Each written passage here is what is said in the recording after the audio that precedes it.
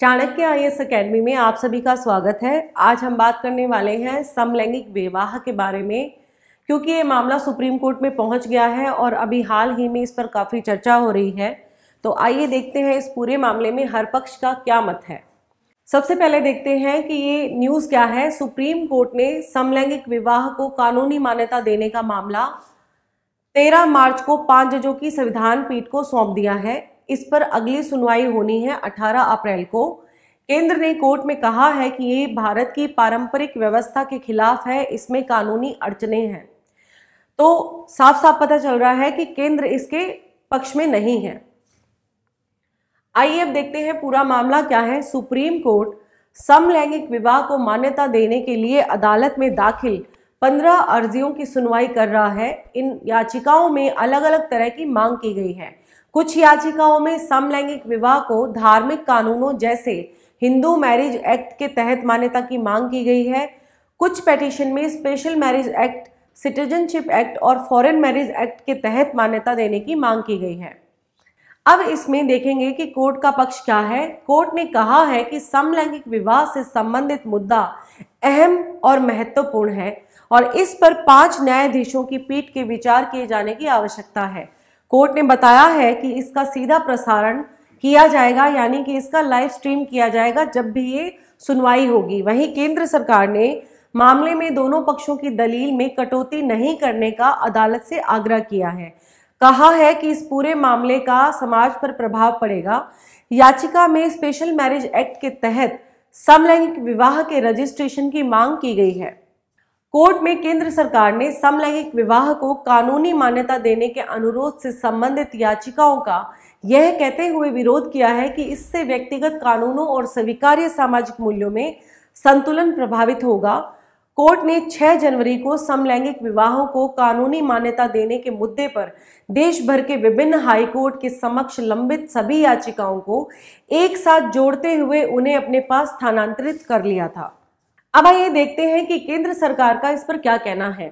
High court में दाखिल हल्फनामे में केंद्र सरकार ने कहा है कि भारतीय दंड संहिता यानी कि आईपीसी की धारा 377 के ज़रिए इसे वेद करार दिए जाने के बावजूद याचिकाकर्ता देश के कानून के तहत समलैंगिक विवाह के लिए मौलिक अधिकार का दावा नहीं कर सकते हैं। केंद्र सरकार ने एफिडेविट में ये भी कहा है कि विवाह कानून की एक संस्था के रूप में विभिन्न विधायी अधिनियमों के तहत कई वैधानिक परिणाम हैं। इसलिए ऐसे मानवीय संबंधों की किसी भी औपचारिक मान्यता को दो वयस्कों के बीच केवल गोपनीयता का मुद्दा नहीं माना जा सकता। भारतीय लोकाचार के आधार पर सभी सामाजिक नैतिकता और सार्वजनिक स्वीकृति का न्याय करना और उसे लागू करना विधायिका का काम है।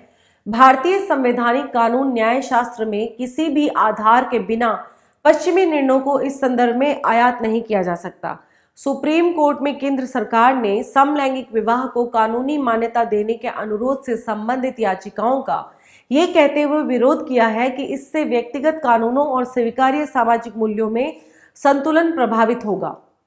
वहीं दूसरी तरफ़ अगर बात करें एल क्यू प्लस कार्यकर्ताओं की तो उन्हों उनके अपने पक्ष हैं इस पूरे केस में। एल जिसमें लेसबियन, गे, बायोसेक्सुअल, ट्रांसजेंडर और क्यू प्लस कैटेगरी के लोग आते हैं उनके कार्यकर्ताओं ने शीर्ष अदालत से समलैंगिक शादियों को मान्यता देने का आग्रह करते हुए एक खुला पत्र लिखा है। रिपोर्ट के अनुसार इसमें यह कहा गया है कि एलजीबीटीक्यू व्यक्ति को अपनी पसंद के व्यक्ति से शादी करने के अधिकार को मान्यता ना मिलने से समानता और गरिमा के अधिकार के साथ साथ अंतरंग अभिव्यक्ति का अधिकार भी गंभीरता से प्रभावित होता है। इसमें यह भी कहा गया है कि भारत सरकार देश के एलजीबीटीक्यू नागरिकों के लिए समानता का अधिकार बनाए रखने की अपनी संवैधानिक प्रतिबद्धता को नजरअंदाज कर रही है और भेदभावपूर्ण विवाह कानूनों को बनाए रखने पर अड़ी हुई नज़र आती है। अब हम विस्तार से देखेंगे कि सरकार इसके विरोध में क्यों है, इसके कारण क्या है। सुप्रीम कोर्ट ने 2018 में नवतेज जोहर केस में समलैंगिक संबंधों को अपराध की श्रेणी से बाहर कर दिया था। तो अब सवाल उठता है कि सरकार ने आखिर कोर्ट में किस आधार पर इसका विरोध किया है? सरकार ने ये तर्क दिया है कि शादी महिला और पुरुष के बीच पारिवारिक रिश्तों का संबंध होता है ये भविष्य का पारंपरिक रिश्ता होता है। केंद्र ने साथ ही कोर्ट में ये भी तर्क दिया है कि विधायिका ही इस तरह के मामले पर कोई फैसला कर सकती है। कोर्ट का इस मामले में कोई अधिकार नहीं है ये सही नहीं है। कोर्ट इन याचिकाओं की सुनवाई कोई कानून बनाने के लिए नहीं कर सक, कर रही है लेकिन इस बात पर चर्चा कर रही है कि कानून पर सवाल उठ रहे हैं यही उसका काम भी है। इसके अलावा केंद्र का मानना है कि अगर इन याचिकाओं को परमिशन मिल जाती है तो कई कानून और उसके प्रावधानों में बदलाव किए जाएँगे। ज़्यादातर बदलाव को बहुत ही साधारण प्रकृति के हैं, जैसे कि पति पत्नी शब्द को हटाकर उसकी जगह पर जेंडर न्यूट्रल शब्द स्पाउस लिखा जाएगा। और कुछ प्रस्ताव ऐसे हैं जहाँ सामाजिक असमानता के कारण जेंडर केंद्रित जो टर्म्स होते हैं, उनका इस्तेमाल किया गया है।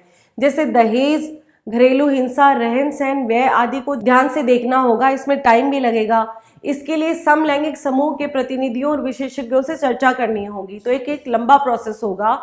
तो इस वजह से केंद्र इसका विरोध एक तरीके से कर रही है।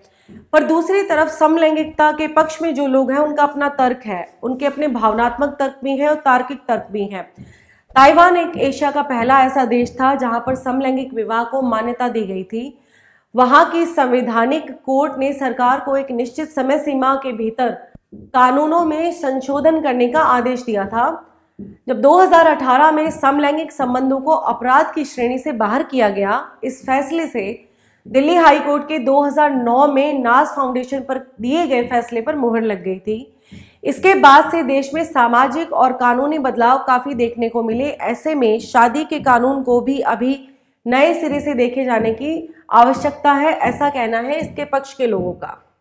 दूसरा, इसके एक विपक्ष में तर्क आता है कि ये लोग बच्चे को पालेंगे कैसे कैसे रखेंगे? तो जो समलैंगिकता के जो पक्ष में लोग हैं, उनका कहना है कि ये लोग 377 हटने के बाद साथ तो रह ही रहे हैं और बच्चे गोद भी ले रहे हैं। या दो कपल में से कोई एक बच्चा पैदा कर रहा है तो वो लोग उस चीज़ को एक सामाजिक मान्यता दिलाना चाह रहे हैं। इसलिए वो लोग शादी का पक्ष कर रहे हैं।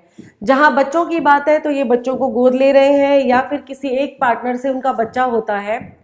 ये केवल यही मांग कर रहे हैं कि उनके रिश्तों को मान्यता दी जाए। ये वे लोग नहीं हैं जो शादी के रिश्तों को नज़रअंदाज कर रहे हैं, बल्कि वो तो इसके प्रति रुचि रख रहे हैं। ये वो लोग हैं जो शादी की पवित्रता में भरोसा रखते हैं और उस रिश्ते को जीना भी चाहते हैं। उनके बच्चों को भी परिवार में रहने की परमिशन मिले, जैसे दूसरे शादीशुदा जोड़ों को मिलती है, ये उनकी मांग है।